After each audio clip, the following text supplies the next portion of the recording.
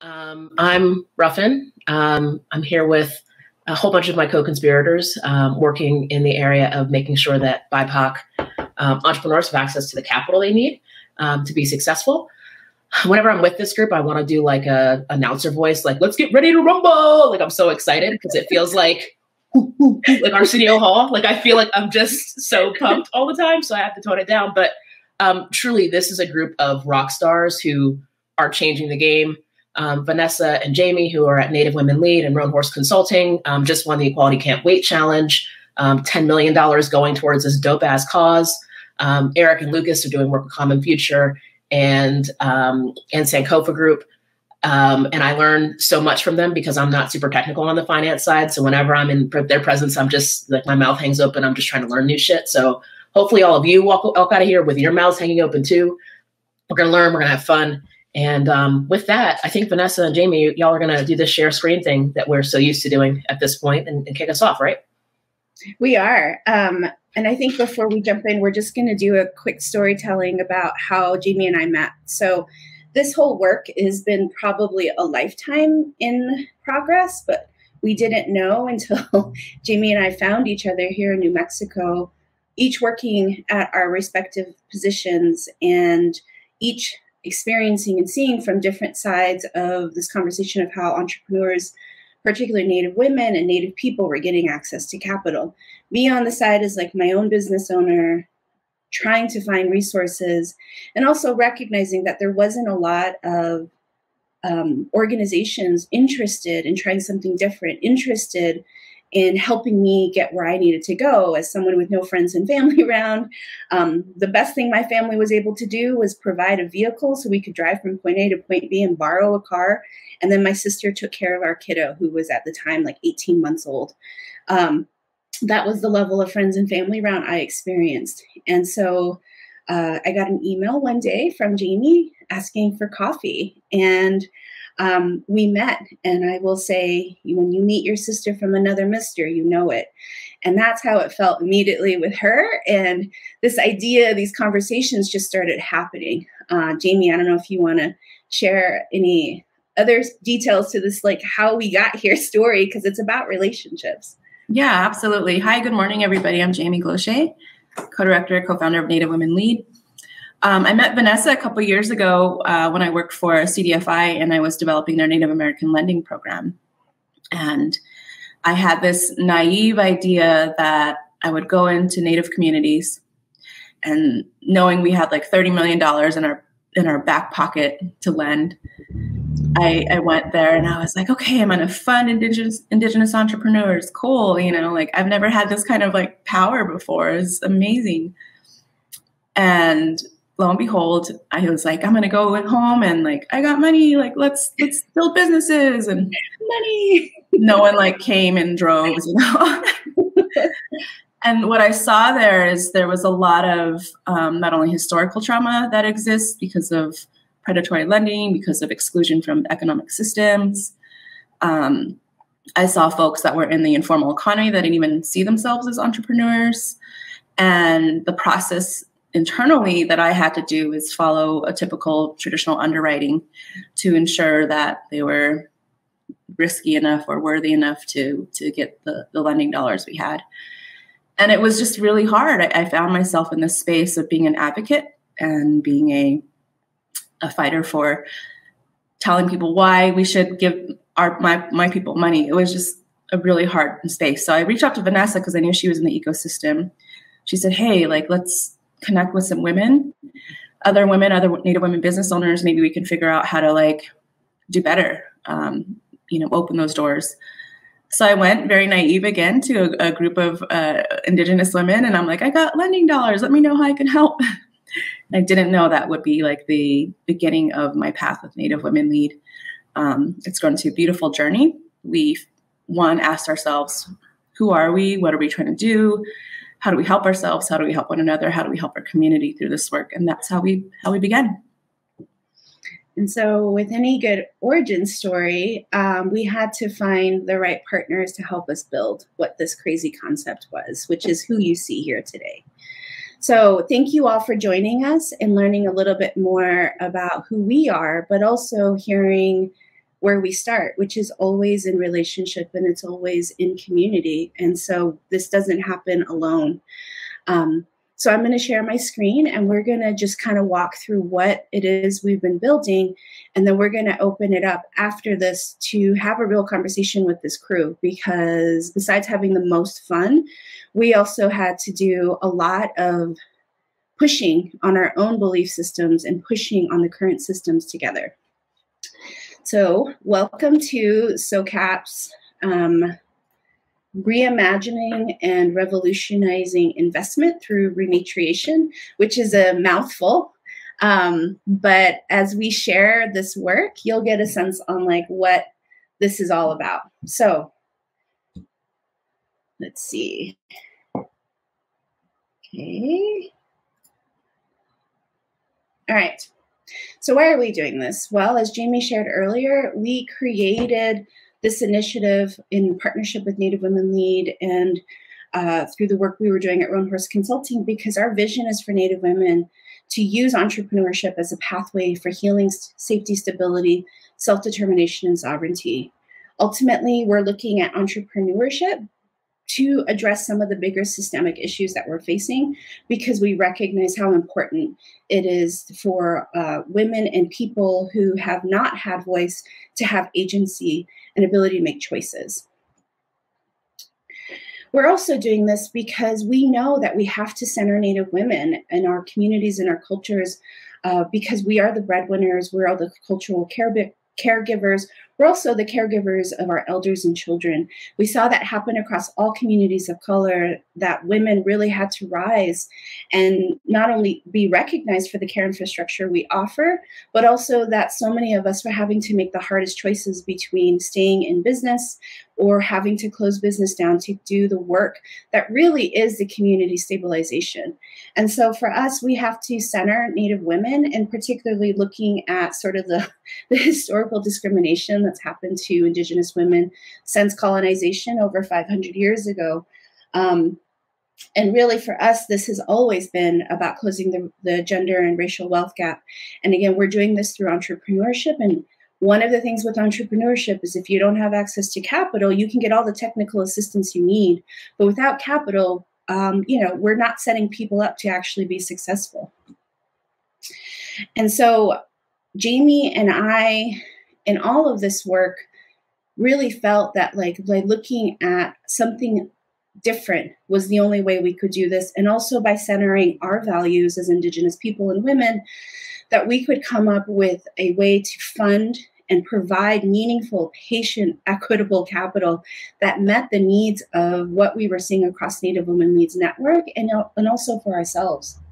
So we in this project have created the matriarchs revolutionary fund and this will be the first of its kind Indigenous women led and owned um, uh, fund in which we're looking to invest into Indigenous people, in particular women across the United States. And this is our thesis, which is we believe we can build a thriving, sustainable, inclusive, and equitable Indigenous economy by investing in established Indigenous women and supporting them with integrated capital and regenerative Indigenous social enterprises that build restorative, regenerative, and resilient communities.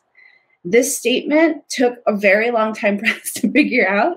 It's wordy, but part of it is because every word in this statement matters. Every part of this thesis is about a bigger conversation and where we're trying to go. With that, I'll hand it over to Jaime. Thanks, V.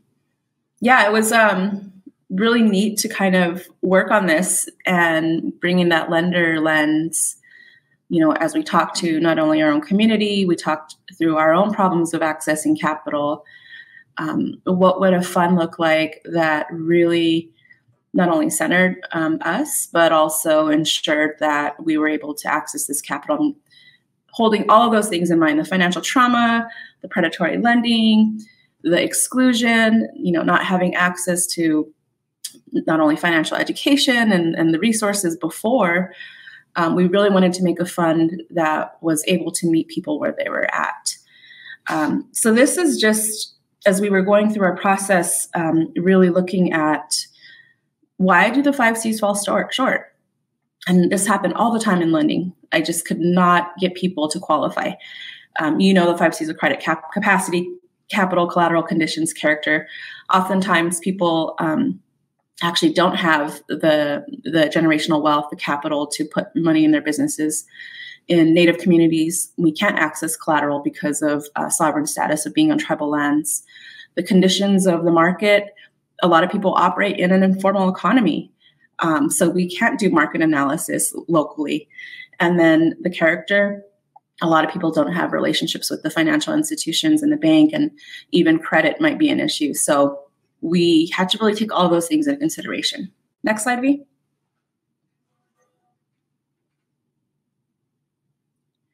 So we really thought, like, how could we reframe this in a way that centers our values and our worldview, but also flip it? A lot of the work we do right now is testing relationship-based lending. Um, we're seeing really low default rates. We're we're piloting with um, Nusenda Credit Union, and we're, we're seeing less than a one percent default rate with the businesses we fund in microfinance.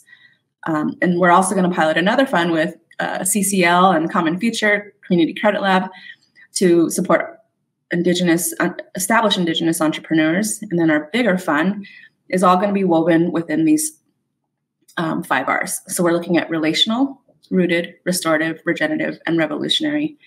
And this really is about having Native people serve as the primary decision makers along the investment decision making continuum. So we want to apply this throughout the whole process, not only through the values, through the application, through the underwriting, through decision making, and then to the funding. This is how we are looking at entrepreneurs based on the types of businesses we want to fund and how we're going to underwrite them. So think about relational. A, a, typical question might be like, what relationships do you have with other Native women? Um, what do you value about empowering others? And this is what we're hearing from our community as well. Like, how do we underwrite in a way that shows that they're committed to repaying? Rooted. Are you aware are informed by your community's needs? Are these entrepreneurs solving a problem? Restorative. How does your business speak to the abundance of closing the racial wealth gap? Do they know that they're regenerating economies, that they're regenerating incomes for themselves and their families? And then regenerative. Will your business have a seventh generation impact? So we're looking at entrepreneurs that are really interested in solving problems as well as not doing harm, not exploiting, not being extractive of their communities and planet. Revolutionary. Is this game changing? We know a bunch of entrepreneurs in our community right now that are trying to change the game. They just don't have access to capital. And just to see, just to share how it kind of weaves in into our greater vision or greater theory of change, we want to build a healthy, thriving ecosystem. We want to uh, support a waterway, not a pipeline, a waterway of strong Indigenous women entrepreneurs to access capital. But it's only one part of the, great, the greater vision. We're planning to launch a fund fellowship so we can see more Indigenous women in spaces of finance. Community table building is something we've done really well. We want to continue to convene, to learn from our community, to build community, to talk about the issues that are most pressing as it relates to entrepreneurship and closing the Native women's racial wealth gap. We want to create the wraparound technical support that's culturally um, reflective and understanding of our people and the current systems that be and historical trauma. And we also want to kind of change the system in looking at Indigenous enhanced evaluation methods, you know, and, and impact metrics we are actually redefining success, we're de- redefining wealth, we're redefining impact in many different ways. Um, and last, this Indigenous Women's Fund will actually be able to allow us to, to do this work. Um, as you can see in the waterway, the long term impacts are rematriation, agency, healing, sovereignty, economic empowerment, and advancement for Indigenous women entrepreneurs. And the way we want to root, if you look on the ground, is by um, creating all of these revolutionary ideas so that we can really see systems and policy change. B? So this oh, yeah. is just, yeah, yeah. Go ahead, do this one. And in our modeling and our fund, we really wanted to think about, you know, who are we going to fund? And we've actually thought about different types of borrowers um, that we could fund. And we did some borrower profiles to really understand a sense of who we're going to fund and why, and um, what types of um, loans we're going to give, and also look at integrated capital. So this could actually not just be um, just the typical it's not it's not a typical lending um, product it's actually could be um, in the form of loans, revenue based investments, forgivable loans, recoverable grants. Um, so we're really think, looking at integrated capital. Yeah. Okay.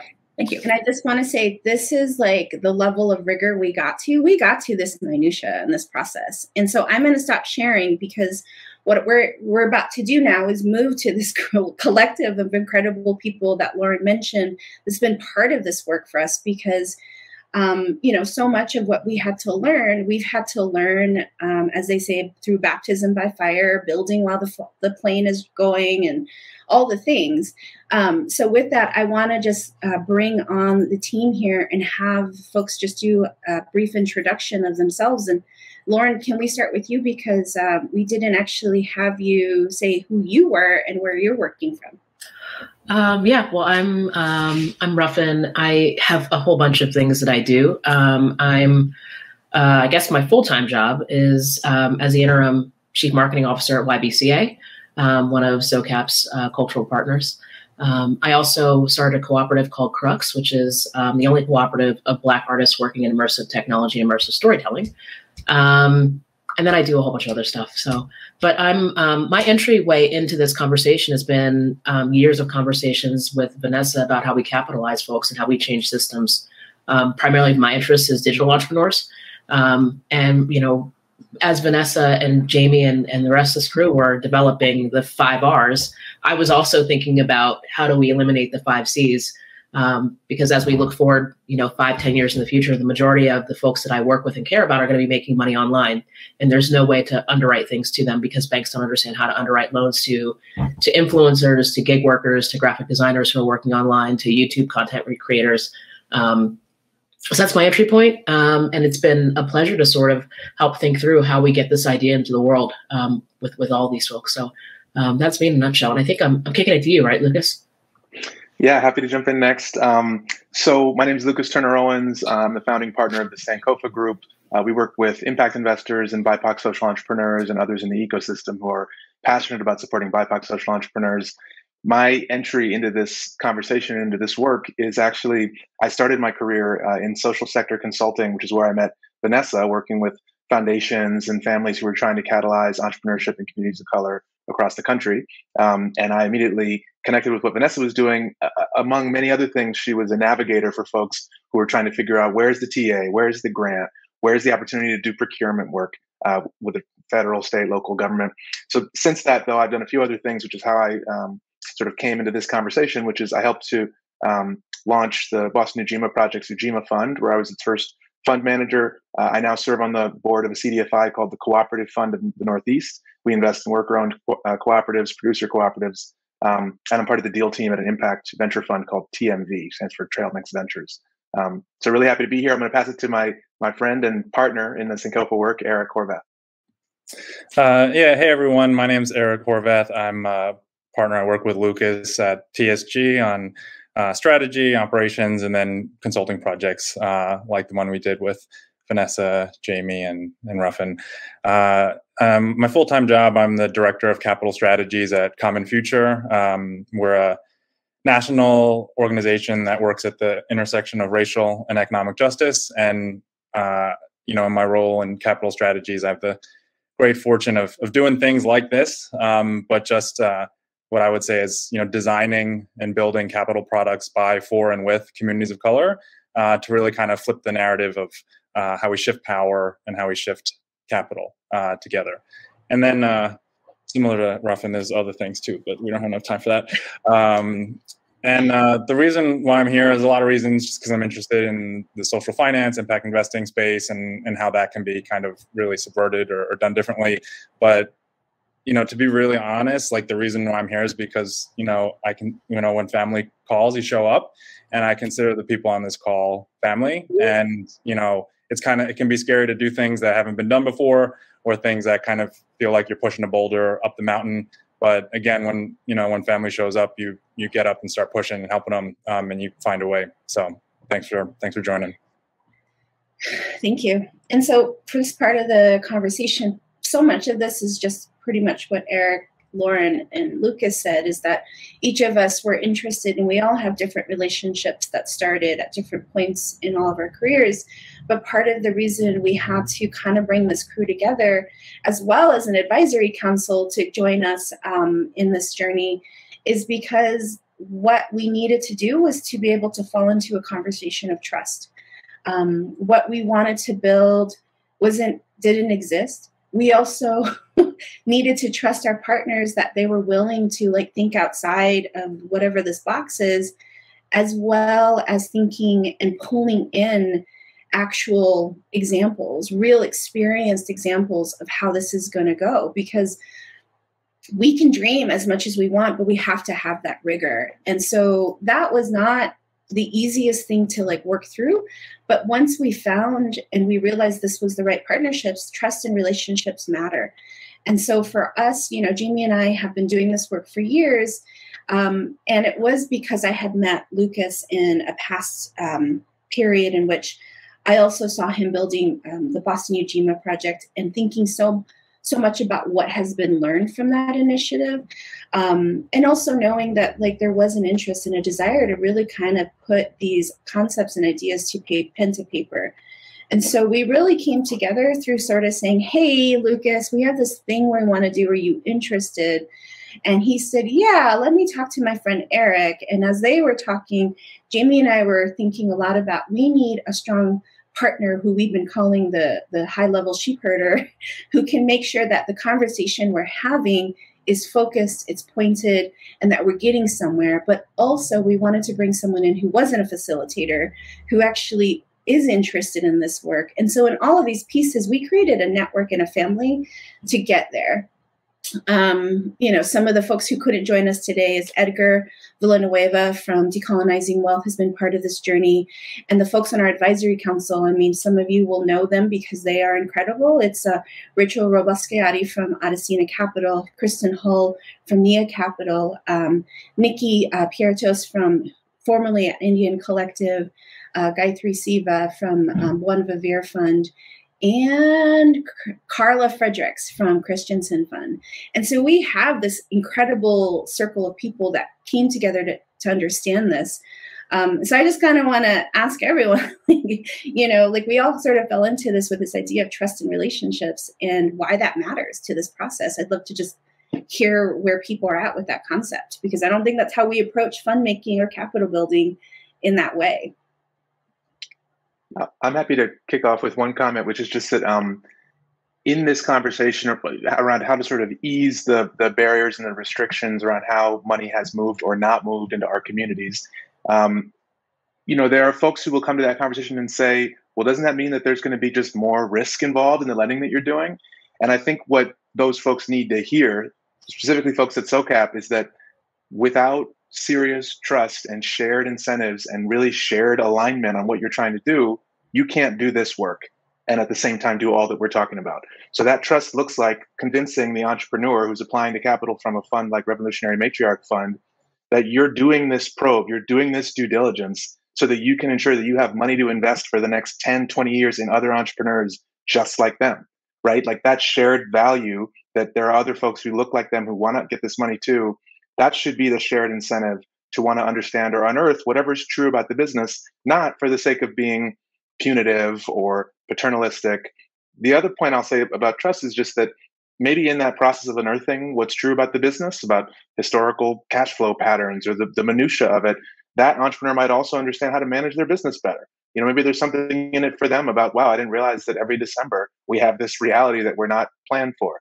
Um, so, so I think just trust looks like aligning behind a shared goal rather than feeling like there's someone who has a checklist and a black box that you can't look into who's assessing you.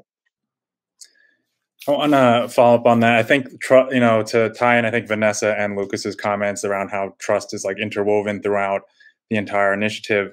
Uh, Lucas, I think, is talking more about like the investments of the loans from the fund down into the businesses. And I think Vanessa was talking, or you're both talking about is kind of this other level of like the strategic partnerships as well. So I think obviously trust is in, across the entire continuum and the entire initiative.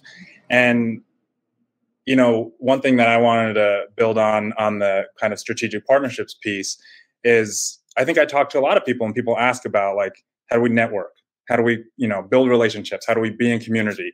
And I've talked to Jaime and Vanessa about like how people approach you both and how some sometimes it's very tokenizing or sometimes it's very uninformed or it's like just tell me how we can be friends. It's very transactional. And I think something that's really been fundamentally different and and really uh, incalculable and also probably frustrating to people looking for for best practices is I don't think there's a template. I don't think any of us on the call operate as a like building trust, building relationships in a transactional formulaic way. I met Jaime and Vanessa at a conference when we are just sitting at a table and I was like, what's going on? And I had I didn't know who they were. I didn't have any agenda. Um, and that was like a couple years ago. And we just stay in touch because we care about each other as human beings. And I think that there's just a lot more to unpack that I think sometimes folks miss because around the trust and relationship piece, because everyone wants to build it. And I think everyone wants a path. And I, I just, I'm curious if, if Jaime or Vanessa, you have perspectives because people are always reaching and looking to build with you all. Yeah. And I just think there's a, there's this like heterogeneous, there's a different way that that's not really unpacked that much. Absolutely. I feel like to all the pieces, right? Whether it's with the trust with the borrowers and the entrepreneurs, the trust internally with our team that needs to be built, the trust with investors, critical stakeholders. Um, it's the foundation of any relationship that trust and transparency and that honesty. And I felt like in our partnership, you know, when we were talking about like, le- there's lender talk, right? Like, do they have skin in the game? And I remember being like, totally like, hey, hey, hey, like, let's hold on, let's reframe that because actually, yeah, our people do have skin in the game. There's bodies in the game. There's there's things that we've already given. So um, you know we've we've been able to have those difficult, really uncomfortable conversations around why this matters, but also like how do we reframe these ideas so that it's not harmful to our communities and not harmful to one another as we continue to speak and build relationship. Um, and even with our borrowers and the people that we want to fund, the entrepreneurs that we serve, we have to be completely mindful that you know there are those things that that can trigger someone because of the trauma that exists in our communities. And how do you build trust and relationship in a way that's honoring of those histories of those nuance but also um, so that we can push a path forward together? Yeah and i'll just i'll chime in and say like um, the thing that i think about all the time is how not new this work is. Um, you know like um, we sit here, we do a presentation on the five R's, um, but there's a there's a real history of of trust and lending in in Black and Brown communities that we that we um, lost partially, you know, in the 80s with the savings and loan crisis, where a bunch of white people stole a lot of money, and then the rest of us have been penalized for it for years. Um, but I think it's really important for us to to really acknowledge that like this is this is the work that our people have always done from from Susus and giving circles, um, and that we're just really building on those shoulders. Um, and that there's there are centuries of data that we could pull from if we wanted to to sort of prove that um, that character-based lending, that relational lending, um, and that you know sort of having trust and relations as we're doing business um, really works. And there's an incredible return on investment, both in terms of um, you know obviously that interest that will come back um, in some in some circumstances, but you know how we really support our communities in moving forward in a way that is sustainable and healthy. Um, we've always known how to do that shit. Um, so I just I don't want us to lose that thread and act like we're we're doing something that is groundbreaking, but right. it's it's already been done.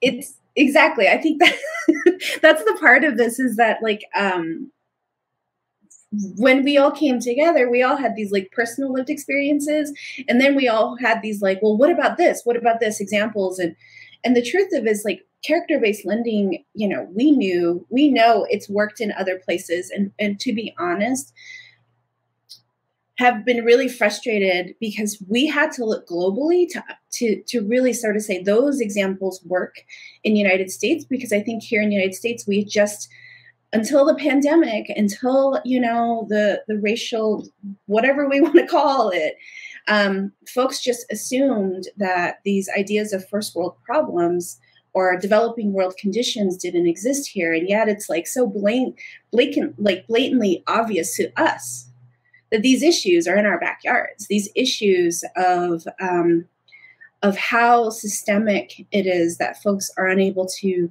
have safety to live to live freely and to be able to access the resources they need to have some dignity and agency in their lives. And so character based lending has been going on for years decades in other parts of the world. And i just have to lift that as well as this idea of like why we keep returning to relationships and why we keep talking about the fact that like the reason we have to center black and brown folks doing this work is because we we can kind of get to it faster without having to like bring everybody like when we all got together it was like we all know the reasons why we're doing this. We don't have to recenter ourselves or have norms about what racial inequity is and capital injustice looks like. Um, we we started from that point and i think that's part of that relationship that jaime was talking about as well is it is really painful to constantly have to educate the history of the United States and the places that we've come from to folks who just don't understand why we have to create models like this. Like the reason we have to create this is because the system, the five C's are so broken. So part of this just makes me want to get into the next piece of this, which is this is really fucking hard to do. This isn't easy. Like we all could come into this like circle and, and dream big and, and have the rigor. But putting this together, I mean, in some ways it's it's the antithesis of the way I think as an indigenous person about how to solve a problem. And so I just want to open it to the group and just be like, you know, let's talk about how hard this was. So much of what we pretend is one, you're to Ruffin's point, this that we're so innovative and new. We know we're not. We know we're just building off of ancestors' knowledge and wisdom. And that two, we make it look so easy but it's not easy it's painful this is difficult um, so yeah let's talk about that let's talk about that piece because none of us are going to get to where we want to get if we can't just be real and transparent about it i just wanted to say i think we're going to be first place for the amount of uh, curses uh, at SOCAP panels. So I'm proud to be number one in that. Anytime I'm in the room, I'm bringing home that trophy. That's just the real life stuff, though. Like all the f bombs all the time. Um, uh, I don't know. One thing that I just wanted to say about the th- so when we're thinking about like it's very difficult is um, you know, I think it's so common uh, collectively, not just the five of us, but just in general, to always look for comparisons, precedent, historical data. This is this is this is where you know the present day is built on. Obviously, what we look back on, and we look for those for reference points. And I mean, I think you know Lucas and I, you know we went through this as well when we were proposing like what are the due diligence questions you're going to ask, what's the criteria, what are the documents you're going to look for, what's the criteria that you're going to evaluate your borrowers by, what's the five C's of credit, and to the point of it being very hard is just those were the comparisons. That was the historical reference point, um, and we constantly faced that every time we got into a meeting. And I think Jaime and Vanessa did a terrific job of just being like, you know, we knew that we needed to go beyond that it is very difficult to do that when we're looking up historical default rates for different profiles of small businesses. But then Jaime says like the data on native populations is insufficient. Uh, they don't factor in X, Y, and Z. So we're basically going to wade into an area where there is no historical data, uh, documented historical data. It, it exists, but it's just not in this the form that people tend to use or look at. But we constantly went up against the structure and how things, you know, business as usual. But I think to weave in the trust piece, we were both able, you know, the everyone on the call, we were able to come together and just be like, yeah, we understand this is what the baseline is, but we've come together and we're on the same page because we're here to go beyond that. But just to acknowledge, like the five C's, like that was there, that was a reference point. The default rates, the reference points, and we're going stretching beyond that because if we weren't, then what are we doing here? Just to, to build on that, I agree with the way you framed it, Eric, and I'm going to pick up on a few points that were made. So, to, to Lauren's point that, that this has been done before, yes. To Vanessa's point that this is still really hard to do, yes. And I think how those two things live beside each other is that we honor work that's been done before by doing the research right, by actually looking into what are all the due diligence questions that have been asked by other CDFIs, other mission driven lenders, other folks that are trying to do similar work, right? What's all the data that we can get from those industries about default and about performance And then we look through on a, and this is where it gets really hard on a one by one basis. We look at every single one of those due diligence questions and we say, are we going to keep this? Are we going to toss this? Are we going to keep it but not use it in a in a punitive way to sort of bring a interest rate up or down? And that's what makes the work so hard is that you have to bring in context and your own analysis, and there is no roadmap for that discernment around every single one of those previous data points and how you're going to use them. So a good example would be talking about the five C's. When you're looking at each of those questions, there's a different answer about whether or not you want to bring in some sort of allegory or whether you need to blaze a new trail. Um, so, so I think that that's how those two things live side by side for me. I'm curious to everyone else, to, to, to Jaime, to Vanessa, to Lauren. When when did this work feel really hard for you, or was there a moment when you said like, I don't know if there's a path here? This feels really stressful. What? Yeah. What, what's Lucas, can I say one thing? Like the to the roadmap piece, uh, it was the five R's that you know we developed and and or we co-developed was when we were going through the list of like what do we need to ask what do we need to know whether or not they're investable by our terms or not it was filtered through like the colander or the sieve that was like the five R's instead of the C's. And we're like, no, we actually don't need to know that because uh, Jaime and Vanessa would bring the culturally competent perspective of being like, actually, Native women don't, this doesn't really apply to them or this won't really work out in their favor. So I think that was the really crucial kind of adaptation, transformation, and like integration of those values because I think some people, you know, maybe be thinking like, okay, you have the, your vision and your mission statement, but like, how are you actually weaving that, integrating that into your process? And that was a great example of how we sorted through the questions, the due diligence, the criteria taken from Vanessa and Jaime's values at with the five R's. Thanks. Oh, so many things. I think that this has been such a beautiful and difficult journey. Um, you know, not only when I think about the entrepreneurs we're serving, we're we're testing this, we're piloting this, right? Like, and constantly when I talk to established organizations and investors, you know, they want to see that it's proven. And at this point, because there's really no like starting point, like we can't prove that right now. We have to we have to demonstrate that. And so we're building the, like Vanessa said, building the rocket ship as we're like in space at this point. Also putting on, you know, our helmets and giving each other oxygen.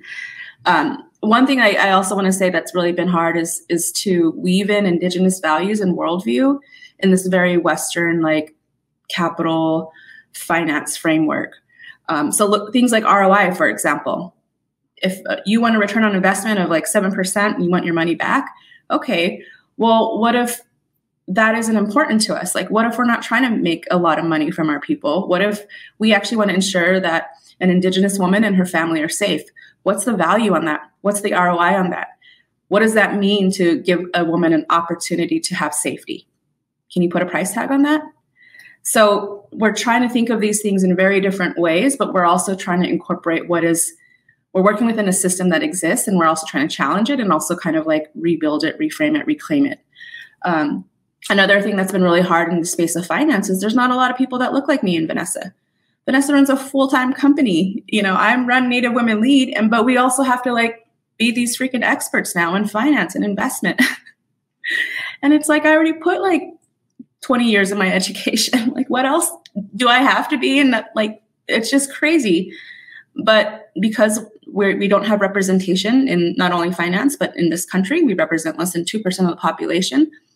Oftentimes, we're the only representation there. And that tokenization happens. And then we have to have the emotional, spiritual, physical strength and wherewithal to to deal with questions like why do indigenous women matter you know why is this important to you um, what am i going to get out of it and it's just really hard to carry that emotional labor at times um, and I think that's also why we brought in this like advisory council of badass women and experts because we know that we can't do this on our own. We're very much aware of that. We know that we have families to feed and communities to care for and nations to build. So, um, yeah, that's what I would say has been very difficult about this. I, I'm down to learn, I'm down to grow, I'm down to share. But um, the expectations of, of, of, a person, a person of color, an indigenous person to be the expert and to do and know everything is just so unreasonable. Yeah, I mean, we blacks have a saying about that, which is, you know, you got to be twice as good to go half as far. But I think, and I think that's that's the expectation. What I've been astounded by in the last couple of years of doing this work is the shocking ignorance of people in positions of power. Like I leave a lot of those conversations being like, why do I have to make myself legible to you when you haven't read a fucking book yet? Like go read a book and then talk to me. Like that's just it's breathtaking that we continue to allow the people who um, drive the narrative around what investment should look like, about what return should look like, on what value is, to be like just so shockingly unread. Um, it that's like for me just really burns me. Um, but I feel like we've all always been twice as good. Like we know that we've all existed in white spaces. That to me hasn't stressed me out, but it is just constantly being reminded of how unread people are.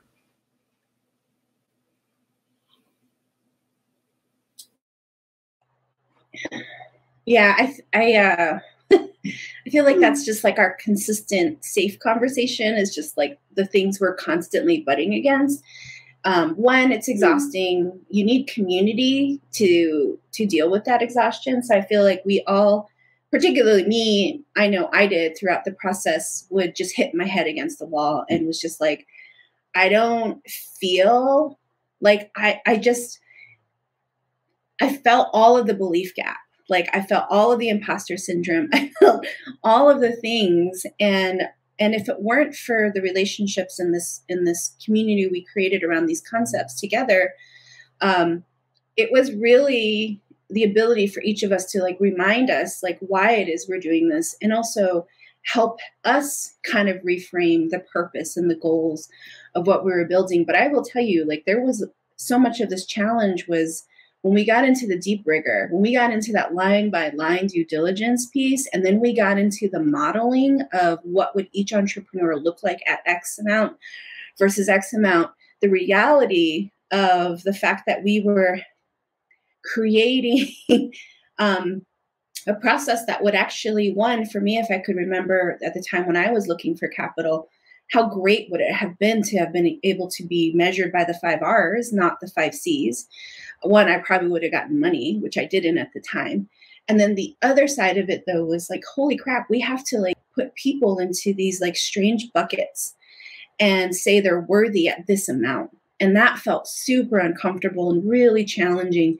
And then the, the third piece for me, which is about where we're moving in towards, is the kind of questions we're going to have to answer from investors and funders on the return on the on the investment what is their ROI? And part of me going to continues to go back to that, like the shocking ignorance of the fact that we have to have a financial return on investment where we're talking about a nominal amount of money for people who've never had access or the ability to fail. That's a whole nother mind F that's going to happen soon. is how we're going to have to to move into those conversations and build this idea of of why this is investable. So the truth is, as we've been doing this, we have been collecting the receipts with our other smaller funds because we have to constantly prove to Ruffin's point, we're twice as good. We hopefully won't get halfway there. but, like, you know, so it's like we're having to show with our smaller funds that these larger investments are really needed. And we have to constantly explain why debt or integrated capital is what we're looking at versus like equity financing and or venture capital, which I don't even want to unpackage because that's a whole nother reason for another conversation. But I just bring those up as like some of the challenges I've experienced. Um, the last one I'm just kind of want to throw to the group and maybe then we can open it up for Q&A because it'll give us about 10 minutes of, of question and answering because there has been some questions here is you know like i look at so jaime and i are going to be co-conspirators for the rest of our life. Like i said she's my sister from another mister. Um, and we're we're committed. As an offering we've made it. It's our job to follow through. The thing i think a lot about with this crew um, that we've had to bring together is every single person here is experimenting at what we would call the thresholds. you know, we're all at these ends of this idea of capital. Um, and whatever we're going to do, we're going to continue like recycle and bring each other back again. There's going to be these this generative conversation.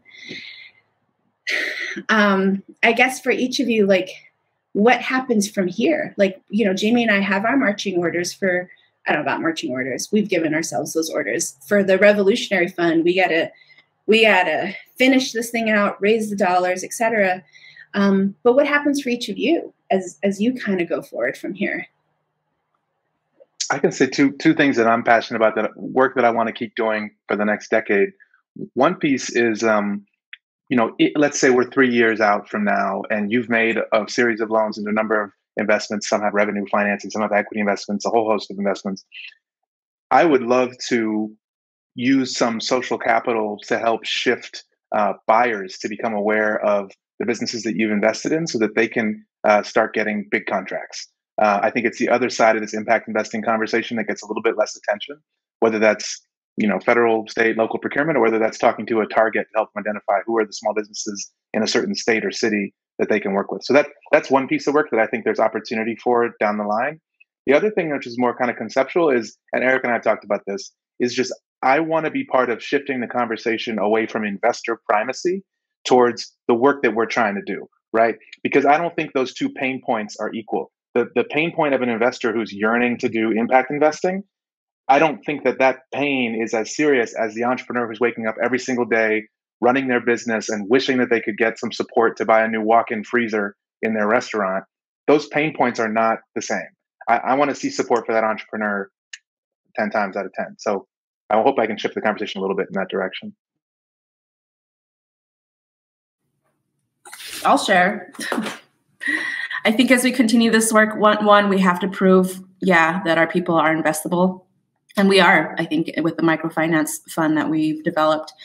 Less than 1% of um, the people that we serve in Native Women Lead, uh, there's a less than 1% default rate. Nearly 25% of the cohort have paid off their loans in 18 months compared to all the other cohorts based on this design. Um, and we've known from an American Express report that Native women businesses are growing twice as fast as anybody else and two thirds of us are the economic stabilizers in our communities. I'm interested in redefining ROI, redefining wealth, um, looking at Indigenous models such as potlatch, um, our own community ceremonies of how wealth is re- redistributed and how people can pay into that. I'm interested in the conversation about what's our return on investment. Our bodies, our labor, our land has already been given and stolen and taken. So, what does it look like for us to get get that back. There's a big land back movement that's happening. Um, and with regard to the underwriting, you know, like we actually have really phenomenal ideas in our own community about what does it look like for our community to underwrite and and show credibility of someone uplifting a leader in their community. What does it look like to pay off um, an investment with with their own expertise and their own giving back to their community? A lot of our people want to give back in some way. Um, and what does it look like to create funds that not only look at economic safety nets and growing businesses, but also investing in people's mental health? Because trauma does exist and continues to exist throughout our communities. And last, I want to make sure that the process does not beat down our people, that it does not create additional barriers, that it does not continue to extract or exploit or do additional harm. That's what I'm interested in. Um, I'll go quickly. Uh, the two things I would say is, and they really do relate to what Lucas and, and Jaime said. Um, I really do think that folks of color and people with lived experience need to be actually in the positions of decision making and not as minority uh, voters or minority stakeholders. So I really don't think that it's sufficient to have a finance committee like with one person of color that has lived experience in the, your targeted issue and they're outnumbered by seven other people that have more traditional backgrounds. I don't think that's the type of inclusion or participation that that's going to actually lead to different outcomes. Um, so I mean, there needs to be a tidal a tidal wave, a, a complete sea change of uh, not just like calling in people to advise and talk about things, but actually relinquishing seats of power, seats of decision making, and seating them. So you know, Vanessa, Jaime, you know, folks on the call, we don't always have to make something. Like I think a lot of entrepreneurship for folks of color comes from like, no one is going to hire me. This is the best thing. I got to do it on my own. Like Vanessa, we talked about that. There are so many institutions, so many places of power, so many resources. But honestly, if there's eight seats on the nine seats on the board, it's a zero sum game. Someone's going to have to step off. Someone's going for someone to come on. I really fundamentally believe that who is making decisions and scale needs to be changed, and things around boards, committees, like investment committees. These are these are things that like exist and can be done now. So that's like a shifting power kind of mindset, and then actually empowering people in those positions. And the second one would be, um, you know, related to this and what I do at Common Future as well is just I'm very I want to create uh, impact products, capital capital impact investing products that uh, I think to the viability question or the ROI question, um, you know, I want to create these capital products by and for communities of color that are scalable alternatives to the things that everyone wants to divest in, but the measure of what viability is is informed by the people that are affected and the impact that we want to have. So viability is not how does this compete against your benchmark or how does this compete against the S&P or other alternative investments. Those are going to exist, but I think the North Star needs to be viability as defined by what we're actually trying to do. And that reminds me of what Lucas said uh, around the investor primacy piece. So we need alternatives. We need to show people. We need to lead the way to the edges point that Vanessa brought up. And um, I'm a big builder, so I want to put them together and then say, you know, here it is. You going to join or not?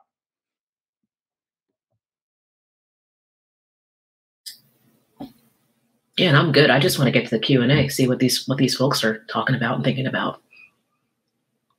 How should we do this? Q and A in the chat. Or B, did you go? You no, you did. You started right. I started this whole yeah. thing. Um, I, I just want to add one point in what Luke uh, Edgar. I'm sorry. Eric was saying, Lucas, Edgar, Eric, all all the friends. My grandmother um, used to do that. She would forget people's name and just go down the whole line of everybody. I do that with my children. terrible is you know the governance that was one thing we were also interested like in the power and decision making like how do you look at governance models that uh, put the decision making into the people that are that are doing this and for this. Um, so we've actually been really inspired by Buen Vivir in that like putting the the onus or the responsibility on those that have the most power and wealth as far as the risk. So retransforming that as well. Um, and we actually did that with the co-op capital model with the microfinance model where philanthropy actually took the took the the I guess the risk. And and we're showing that they actually could have taken the risk, but they also are they're not losing anything at this point. Yeah, no, that's it's uh I mean you could get us in a room, we could probably go for another couple hours. Um I know questions should have probably gone into the Q and A, but I think there are some questions in the chat. One yeah, of them was asking chat, about they, the framework. Um, and in this framework, is there a minimum amount of money you would need to get started? Um, and Daryl, I don't know if if you mean like how much money do you lend out, and are you asking like to get started like enough money to like make some return on that investment? So I'm not sure where the question sits, but I'm just kind of see if anyone has an answer to that. Yeah, I, I can pop in for that because I think how I hear that question is, you know, what's the amount of money where this kind of project could be sustainable, like self-sustaining specifically? And I'll answer it, and then I'll kind of um, hopefully push the conversation a little bit. So, um, you know, with all these funds, there is a certain amount of of interest that they can produce.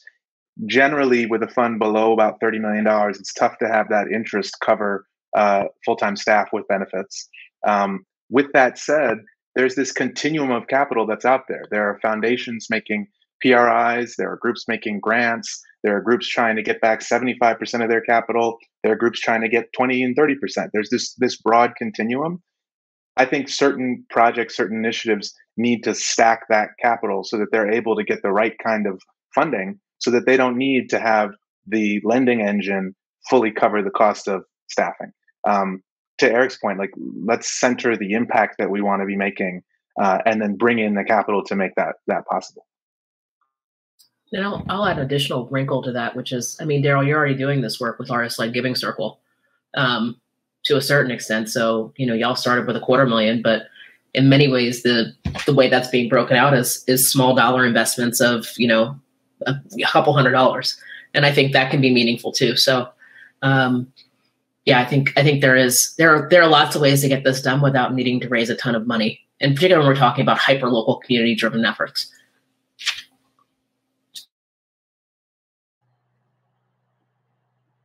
Jaime, did you want to add anything to that? I know you had kind of already responded. I can't remember what we learned in BII, but just to start a fund, you know, it costs like $500,000 to run. Like that kind of blew my mind. you think about the labor, the brain, the time, the design, incorporating the recruitment, you know, getting entrepreneurs ready. And that's one thing we didn't mention is we actually have a holistic frame in that which we want to make sure entrepreneurs have the skills, the tools, the resources they need to ensure that they are successful with their investment, that their businesses do grow, that they do sustain with this injection of capital. So we are thinking of that as well. Um, and that also requires TA and support and expertise and mentorship. So that's why we're looking at these other um, frameworks of ROI. Like, what would it mean if this woman who started a a gray water laundromat business on her tribal reservation to actually have access to just basic hygienic needs. Like, what would the ROI be on that? And I think there's a question for Eric. It's a good one, yeah. Um, Eric, I don't know if you saw it. it. Says, what are some of the alternative ROI metrics that you're considering? I also want to just note, I think I don't know if our session ended at 15 after. No, it started at 30. No, when it ended, because I see other things in the general chat. I don't. Was this an oh, hour okay. or 45 minutes? I think we're ending now, right? In a, in a oh, minute, it's an hour. Uh, well, some people. I thought it was. I thought it was forty-five minutes. I don't know. I'm just here to hang out with you guys. Okay. Well, I think folks are staying. That, that's a good sign. yeah. Why don't you answer the question? We'll wrap it up after that. E. Yeah, Daryl, thanks for the question. Um, it makes me think about. So I don't. I'm not going to have like my top top greatest three hits. Um, my answer, my response is um, you know, to the gray water comment. Like, I don't think that nuance can be scaled. Mm-hmm. I think those are kind of like diametrically opposed concepts. Um, so like nuance comes with like community rootedness, comes right. with comes with like local connection, and I think that can be replicated, but scaled at a massive level where it's like cookie cutter. Um, you know, you know, it, it's hard. So so how I think through things is I usually build partnerships like the ones on the screen right now, and we talk about what's important, what's material, um, significant to the folks that you know better than I do. Um, and it just it's where the trust. I mean, where the trust and the relationships come back to because um, I relinquish. I mean, I I I, I listen to them. And, you know, we listen and we believe in, in you know their expertise. And with that, because I think we are over, yeah. Um, I just want to say thanks to the to all of you for joining the panel, for just joining the team and the work. Um, we're going to continue to be doing this, so please feel free to reach out. I mean, everyone here, um, you can find their information on the SOCAP website, but also if you are interested in talking particularly about this fund, feel free to email Jaime at jaime at nativewomenlead.org. Um, and yeah, thank you all so much.